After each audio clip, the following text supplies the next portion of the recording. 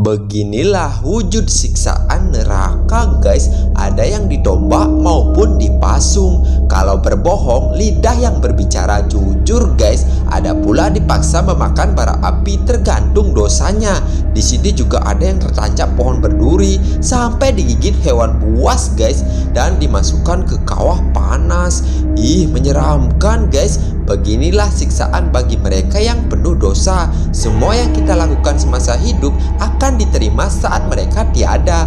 Aku doain semoga kalian baik dan masuk surga agar tidak mendapat hukuman seperti mereka sampai ada disiksa terus-menerus dan ada pula kepalanya diganti menjadi kepala hewan, guys.